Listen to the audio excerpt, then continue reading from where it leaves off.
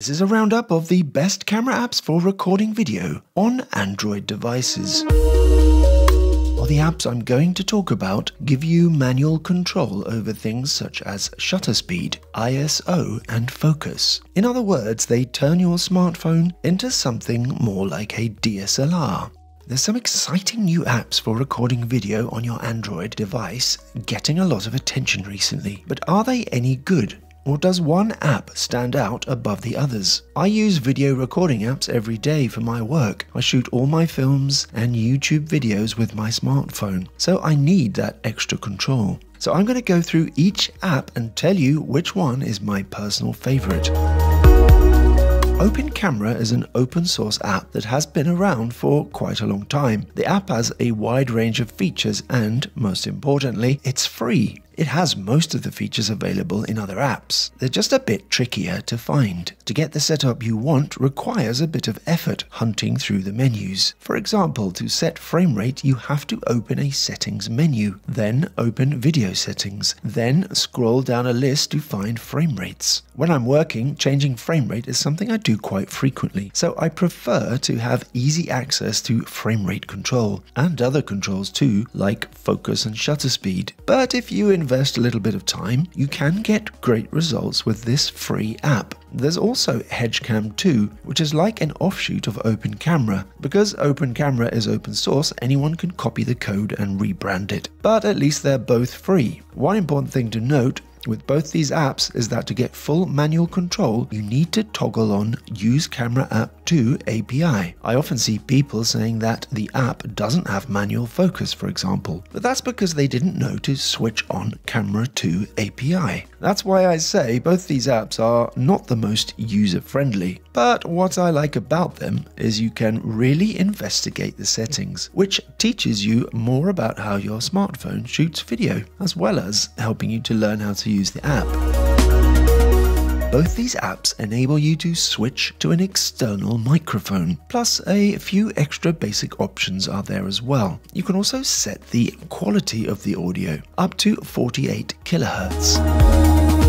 These apps have a number of log profile settings if that's something you're interested in exploring. Also, while the other apps in this video can only shoot video, Open Camera and HedgeCam 2 can also shoot photos. And there's also a bunch of settings for photography as well. But if you're not interested in that, these apps might not be for you. Having said that, they can still do a great job. Plus, if you're not yet ready to invest in one of the paid for apps, these are great apps to get started with. The ProTake camera app recently got a lot of attention after it was plugged by a well-known YouTuber. While it seems to work well on iOS, there have been a number of complaints about the Android version. The problem is the makers of ProTake decided to go for a subscription payment model, which means to use the manual controls, you need to pay for one year's subscription first. As far as my Android device goes, the app seems to work well, and I'm using it on a Samsung S9. Problem is, there's no way to test the app on your device before purchasing, but I can only go on my experience, which has so far been very good. So when you download the app, you can use the auto mode for free, but when you switch to pro mode, while you can adjust most of the settings, you can't record until you pay. What I really like about this app is the way it's laid out. Everything I use is mostly there on the main screen. Plus, you can easily see your current settings. And if you want to change frame rate, it's easy. One tap and you're there. To get manual exposure, tap shutter speed or ISO and then toggle off auto exposure. There's simple resolution and bitrate controls too. You can easily toggle full screen brightness on and off. A screen zoom button allows you to get closer for better focus, and full screen mode quickly clears the screen if you want to see your framing without distractions. Finally, the bottom button allows you to toggle between landscape and portrait. Tapping lens opens up your lens options. For my Samsung S9, I am offered selfie or wide, which is the standard rear camera. Unfortunately, it does not offer me the second, wider selfie lens option, which is actually a useful lens to use. In Pro mode, you immediately get live analytics, which you can cycle through by tapping. There's also a battery and memory level meter. Tap this to change memory size to memory time, so you can quickly see how much more video you can record with the current settings. I like being able to adjust shutter speed in single numbers, but there's also rounded numbers there for quicker adjustment. ProTake also allows you to program a focus pull if you want to switch from foreground to background focus like a pro, set your final focus position, move the focus wheel to the first position, tap the A to B icon and the app performs a smooth transition. The settings menu opens up a few more choices, but as I say, most of the important stuff is out there on the main screen, and I think this is what I like most about this app. Simply tap on the audio level meter and open a menu which allows you to control level and gives you three options for audio input phone, external, and Bluetooth. External and Bluetooth only become available once you connect a microphone. If you plug in a mic and select external, ProTake automatically switches back to external if you unplug and plug back in again, so that's quite a nice touch. Some different looks, which are preset filters. One of these is a log profile, while the others are various styles, some mimicking film stocks. Although this is not something I'd use too often, I actually quite like the look of them compared to others I've seen. Bear in mind, these looks need to be downloaded first. Going to the Accessories tab reveals that the app has functions to use with Zhiyun gimbals, anamorphic lenses, and depth of field adapters. So for me, this app works very well. I didn't seem to have the same problems other users have had, but I can't guarantee this app will work as well on your device. Also, unless you intend to spend a lot of time shooting video, committing to a subscription might not be right for you. That said, this is a great little app for serious video shooters, in my opinion. If you love the idea of shooting with 10-bit color depth and having access to a variety of log profiles, then MC Pro 24fps is really probably for you. Only certain devices are capable of shooting 10-bit color though, so maybe check that out before purchasing. The app gives you full manual control of your shutter speed, ISO and focus. To change frame rate and resolution, you need to open a menu and then it gets a little bit complicated. For me, in terms of usability, MC Pro 24fps is more like open camera. Lots of detailed options, but unless you really love tinkering, then you might find this a frustrating experience. Having said that, MC Pro 24fps does have some features not available in other apps. For example, a long list of color profiles. The app designer also provides a bunch of lookup tables for free on the MC Pro 24fps website to download to help you get the look you want. There's a fixed frame rate option too. Normally, smartphones shoot variable frame rate as a form of compression, and if you're recording lip synced audio, for example, having a fixed frame rate can save you the pain of audio drift when editing. This app also allows you to program focus pulls, but going one step further than the others, you can set the speed and the curve of the pull. For example, if you want the focus to move fast at first and then slow down as it reaches the final position, you can set that with the gamma curve. When choosing stabilization, you are given options for optical, digital, optical and digital, or simply none at all. In other apps, the most you'll get is on or off. So it's nice to be able to have that extra choice there. Also, MC Pro 24fps allows you to set and lock the range of focus. So the focus will not move past these points even when changing focus manually, and this means you can perform a very accurate manual focus pull.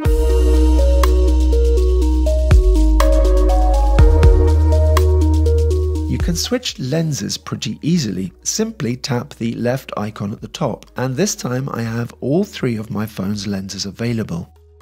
Audio options are similar to Open Camera if you can find them. In fact, they are opened by tapping a tab bottom right, but rather than name it audio, it simply tells you the current audio setting. The app developer tells me that the mic setting works for a variety of external mics, including Bluetooth mics, although not all mics work depending on whether the system detects the mic.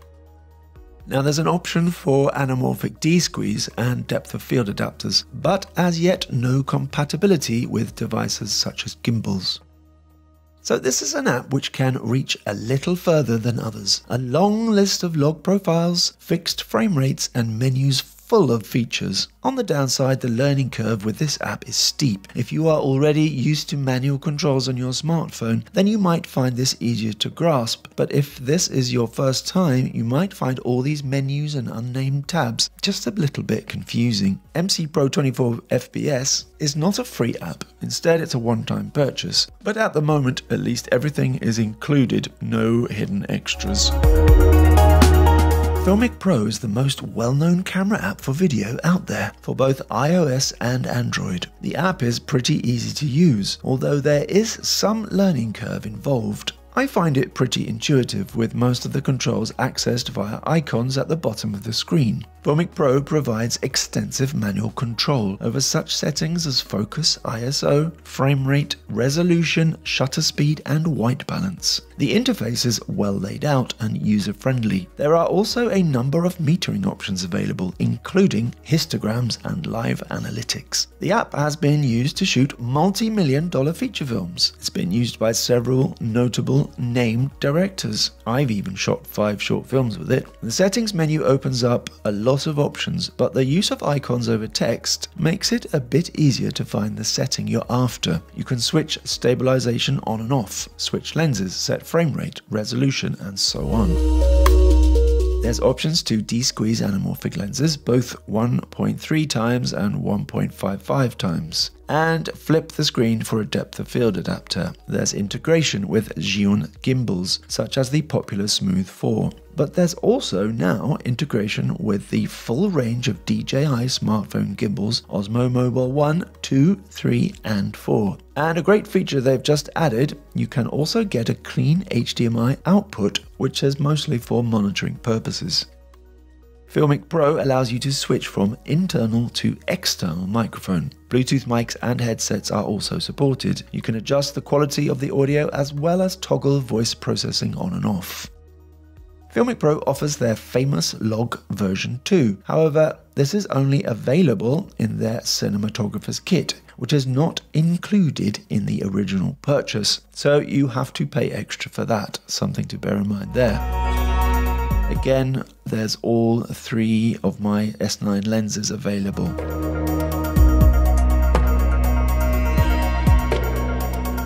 So as you can see, each app has its pros and cons. If you just want to try out manual control on your smartphone, then a free camera app like Open Camera will do you no harm. It could be a good app to get started with. If you want full controls and ease of use, then I recommend ProTake. Downsides include that yearly subscription and the lack of depth in some features. If you want a huge range of color profiles, the possibility of 10-bit color depending on your device, and more control over your smartphone camera than you ever imagined possible, then MC Pro 24 FPS is for you. But my best all-round app for video is still Filmic Pro, and that's because I find it to be a good balance. The app has a lot of features, but at the same time, it's still pretty user-friendly. Also, it has that extra compatibility with devices such as those DJI Osmo Mobile 1 to 4 and the Zhiyun Smooth 4.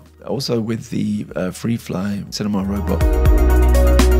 One thing I will say about Android camera apps, and that's that they need to work with many different devices made by different companies. And for this reason, the performance of all these apps can vary depending on your device. So that's just something to bear in mind, you know, so that you don't end up disappointed. So that's it for this video. If you enjoyed it, please like, subscribe, hit that notification bell, and you will get lots more videos coming your way soon. And I'll see you in the next video.